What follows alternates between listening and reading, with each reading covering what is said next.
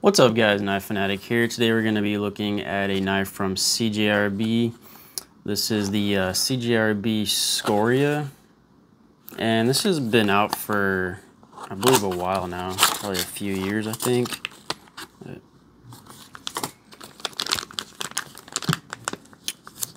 I saw this knife and I just really liked the overall design of it. Um, we there's an, uh, an option also for G10 scales if you want some black uh, G10. This is like a burgundy um, micarta, but pretty thin knife. Um, we have a titanium pivot collar here with titanium th uh, thumb studs, AR RPM 9, blade steel, which is CJRB's uh, proprietary uh, blade steel made in house. Um, I believe titanium back spacers, or sorry, uh, standoffs as well. Titanium milled pocket clip, and that looks really nice. I like this um, pocket clip, and it has like a, a hidden screw which screws from the inside of the scale there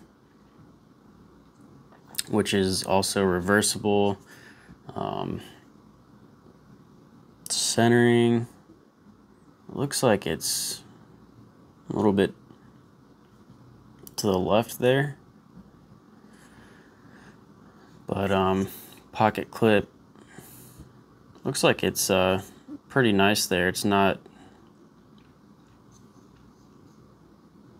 too, um, I guess, like it looks like it'll go in and out of the pocket pretty easily because of the ramp right there going to and from the pocket.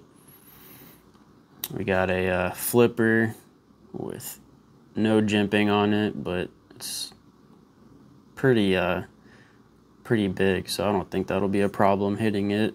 Um, it's running on bearings. Let's see.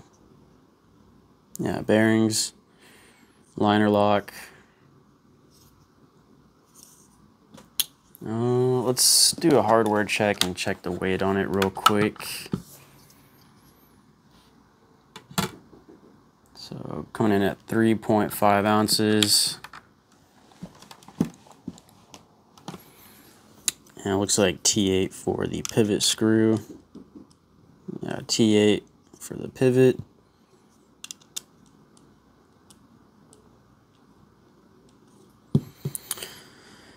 T6 for the two body screws there, and I'm assuming the pocket clip as well on the inside. So yeah, let's go ahead and fire her open. Whoops. There we go. Man, that det... What the...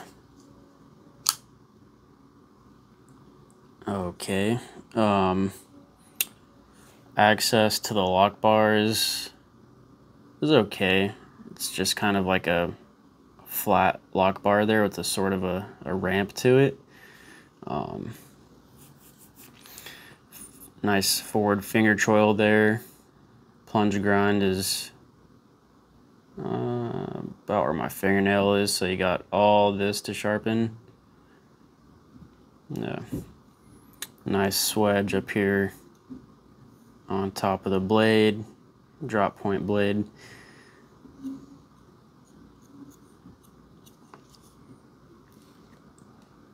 Here's the serial number, made in China. We got a lanyard hole there. Um, internals, we got a little milling in the internals there. Ergos feel really good choked up in that forward choil there. And then back here as well, I can still get a pretty uh, good grip on it, solid four finger grip there. And then choked up there. It's a pretty long knife. Uh, let's go ahead and let me turn that off. It's a pretty long knife, so looking at eight inches overall with a cutting edge of Uh, just a hair over three inches there. Um, wow, I I don't know what's going on with that lock bar. There's not a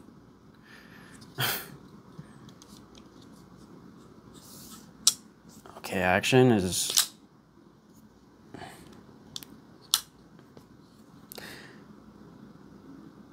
man I don't know what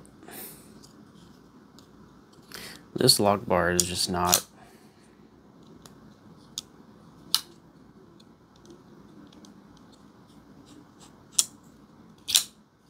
Yeah, I'm gonna have to say that this lock bar is just not it's not it.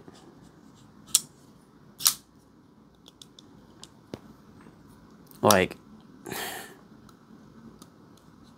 you have, you know, a double detent pretty much cuz well, until the the detent ball climbs onto the to the blade there, I mean, you don't have, there's not a lot of room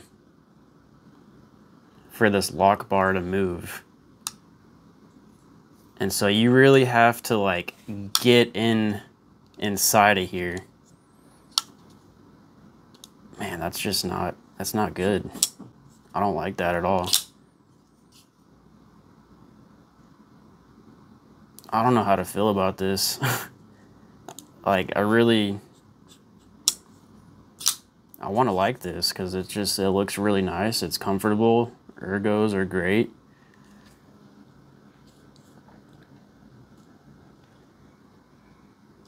This lock bar is just really ruining it for me. Like, I don't know, like it just doesn't... Uh, it, it's not it's not it for this knife. I don't like it.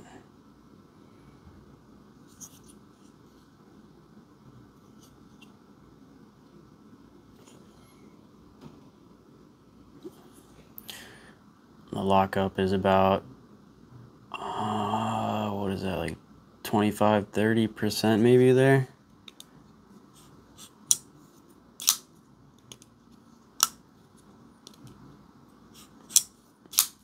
And another problem is that this, the back flipper there,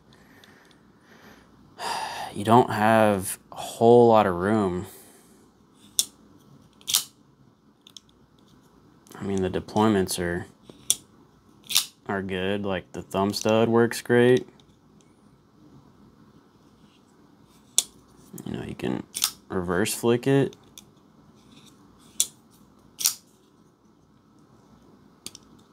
You can already see it's... I'm having to press so hard that it's like bending my nail there. I mean, I usually cut my nails at this point, so... But they're not even that, that long. Anyways, um... Yeah, I'm probably going to end up returning this knife, which is a shame. You can uh, can you push button this? Almost. Let's see if we can do it. Yeah, you can push button it. You just, I don't know, the detent is so soft on this. Light switch works well.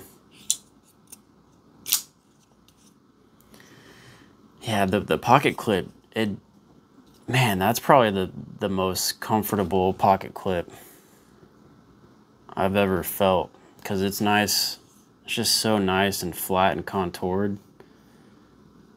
Really nice. And it just looks elegant and seamless. There's no screw, you know, screw visible there. All you have is those two body screws, a lanyard hole, and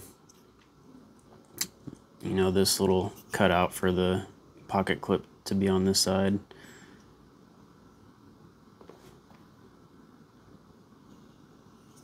But Man, this is a shame. Well, guys, hope y'all enjoyed. Like, comment, subscribe, all that good stuff. And we'll see you in the next one. Knife Fanatic out.